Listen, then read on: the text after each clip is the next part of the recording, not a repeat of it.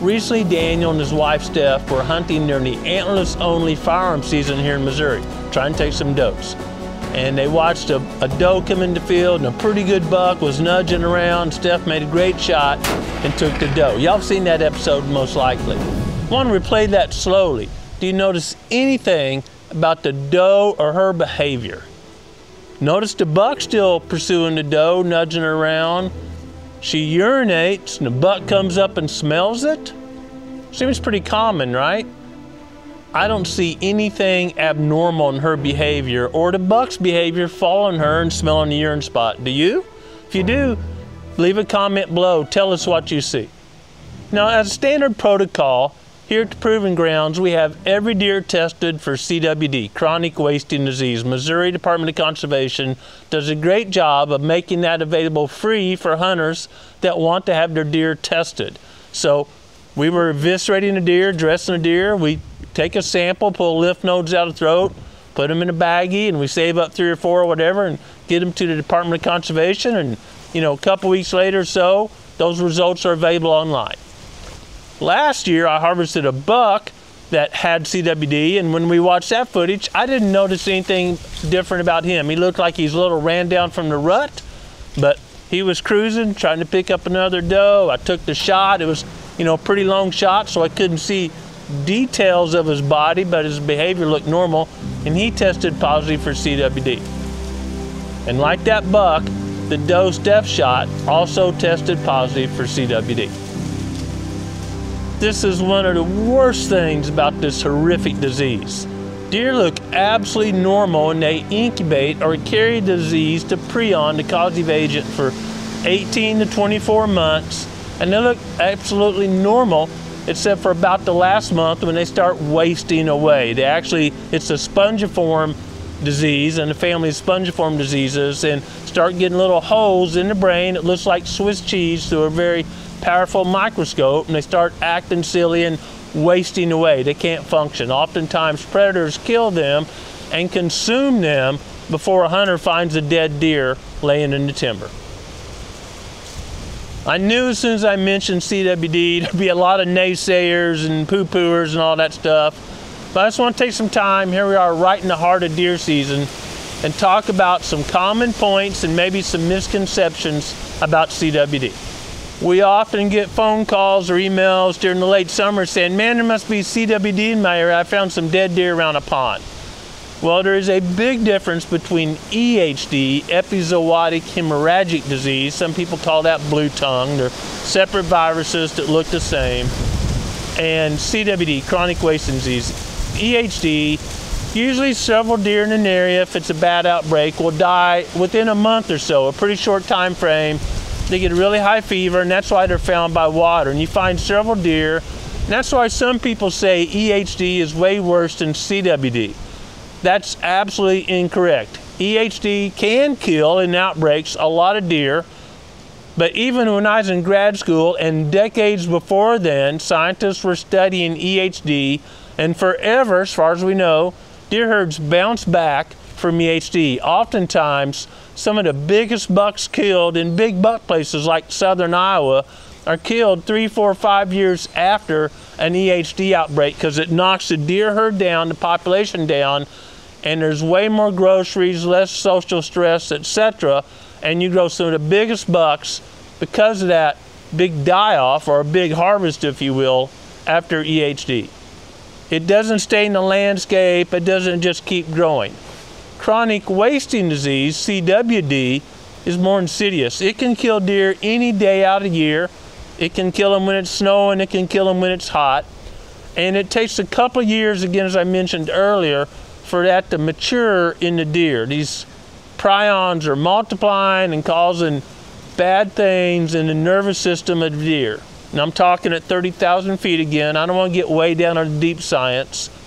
And so, it's been shown, especially out west with mule deer and elk and other species, mountain lions can detect that this deer is a little weaker than the rest of the herd before human eyes can probably detect it and harvest a lot or kill, predate upon these CWD infected deer. Hunters don't know that. They're not finding a bunch of dead bodies on the ground. EHD deer are full of infection. A lot of times when it happened here at the proving grounds, the only thing that eats an EHD deer might be a turkey vulture. But coyotes and other stuff tend to ignore EHD killed deer, so hunters find them because they're so full of infection and somehow they sense that. CWD deer, apparently that's not the case, and you don't find a bunch of deer laying on the ground. Another huge difference is EHD is spread deer to deer by biting little bitty flies called midges, and it goes deer to deer through that vector. CWD is when deer get this causative agent, a prion, which is a bent or malformed protein in their body and it multiplies.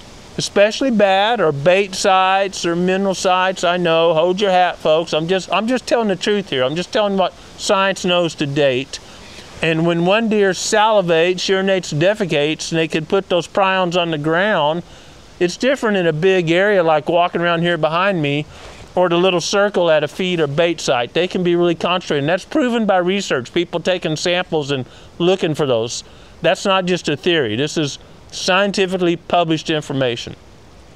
So it can get in the soil. The causative agent, the prion, can get in the soil, and then it can be taken up by a plant or the deer lick the soil there or something, and it can continue going. And that's why the numbers tend to build over time. The prevalence rate, the percent of deer in an area that have it, starts increasing if big actions aren't taking.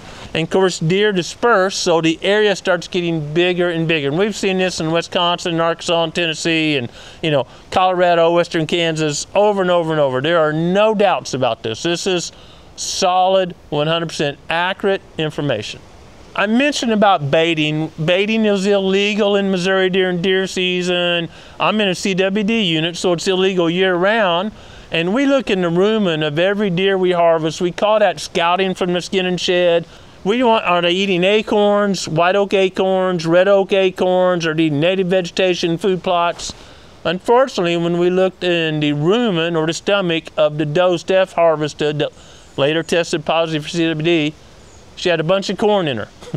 one of my neighbors was baiting. It's just that simple. I don't know which one. I got a lot of neighbors, but uh, somebody was baiting and we're in a CWD zone. Please don't do that because, again, you're really encouraging deer to urinate, salivate, and defecate in a small area. And then there's that old argument well, baiting's no different than food plots. If that's true, why do all you hunters hunt over a bait pile? Don't you think it's more effective? If baiting is no different than a food plot or an acorn tree, I hear that, well, baiting is no different than a white oak tree, then why go to the hassle of buying high dollar corn these days? Why don't you find you a white oak tree or plant you a little food plot? But anyway, we're in a CWD unit, and I don't want CWD to spread even more, and so doing things that causes deer to be nose to nose or licking the same place some other deer just urinated, defecated, or salivated is a really bad thing. Now, deer going to groom they're going to use scrapes. They're going to touch where other deer have touched. Absolutely true. That doesn't mean we want to make that additive. We don't want to add another reason and super amplified. You know, again, if deer use scrapes as much as a bait pile, why would you mess with putting a bait pile out? Just find a scrape. So, this is just common sense stuff, folks. It's science backed, but just common sense. Growing Deer is brought to you by Bass Pro Shops and Cabela's. Also by Green Cover Food Plots, Winchester, PH Outdoors, Moultrie Mobile, Steel, Fleet Outdoor Apparel, Morrell Targets, Fourth Arrow, Soil Pro Outdoors, Scorpion Venom Archery, Case IH Tractors, Burris Optics, G5 Broadheads, Prime Bows, and Redneck Hunting Blinds. We process every deer, and Daniel and Jamie, and you know interns, and some of the editors, and certainly my family consume the venison harvested here at the proving grounds. None goes to waste. We give some away, but quite candidly, we consume, I'm going to say 80 or 90% of it, and we harvest a lot of deer. We have every deer tested. You may be wondering what happened to the venison we processed from the deer Steph harvested. Well, we process every deer because we don't have the results yet. But we label each deer on every individual package, a burger, loin, you know, deer one, two, three, four, whatever. Keep records, and we put those in a separate part of our freezer until we get the test results back. Those are not put on the side. that is for anyone that wants to consume. Those are not yet until we get the test results back. And if you're in an area that CWD is known to exist, I encourage you to adapt a similar process. But I'm going to say this is an estimate. The bulk of deer with CWD are probably not tested and consumed of harvested deer. The bulk of deer that are harvested that have CWD are probably never tested and consumed. For years, almost no state was testing. CWD has been known to be on landscape for 60 plus years and maybe much longer. We don't know. Think of all the deer, and this has been studied again. I'm only talking today of you know, refereed, serious publication research, not Joe Bubba said down to barbershop. So in northern Colorado, CWD's been known a long time. Forever it wasn't tested. About 75% of the deer and elk harvested there are by residents. And they harvest critters not just for hunting, but for meat, right? Elk's a lot of meat. Big mule deer is a lot of meat. And studies have been done to see if people in that area have any more nerve-based illness, illnesses that could possibly come from eating CWD deer versus the rest of the United States population, there was no difference. There's never been a known case of a human contacting CWD or a like disease, a similar disease, from consuming a deer that had CWD. Never. There's been rumors and articles and headlines. Never. Period. That's a blessing a huge blessing. But CWD is 100% fatal, period. Do you want to be the first guinea pig on that one? I certainly don't want my family or my staff being part of that. So we're going to have every deer tested first for our own consumption, our own feeling of good. We want to be really, you know, happy about the venison we're consuming. It's super healthy meat.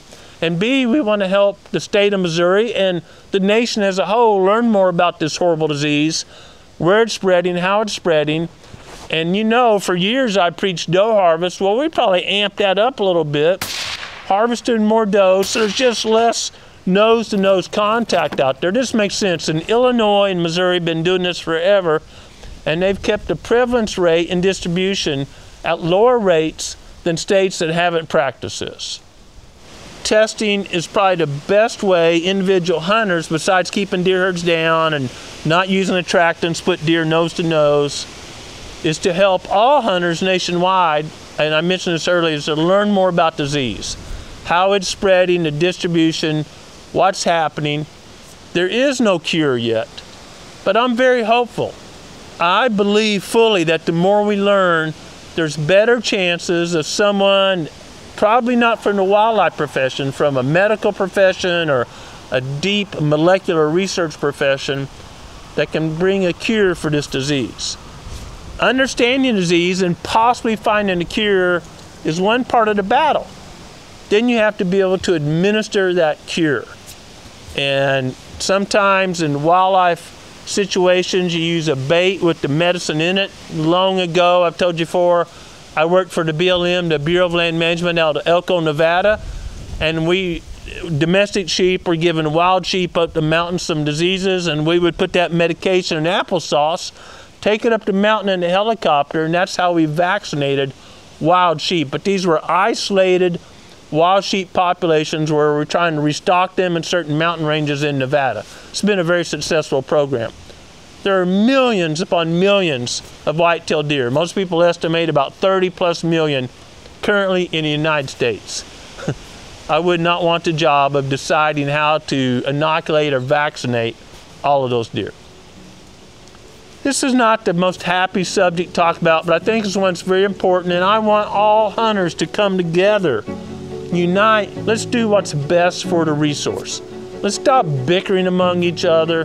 Let's talk about what's known, which is probably not much of the circle, and help those researchers to fill out that circle so we can learn more and take the best actions.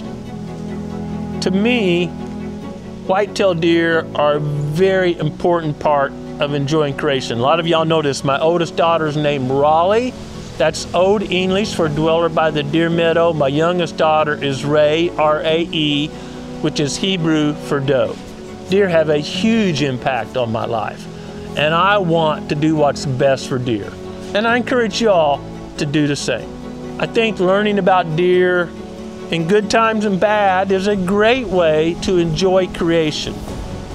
And just like I want us to learn more about deer, deer behavior, food plots, native vegetation, and unfortunately wildlife diseases, even more important than that is to learn more about our Creator and His will for our lives. And I encourage you to have quiet time every day and seek Him and His will for your life.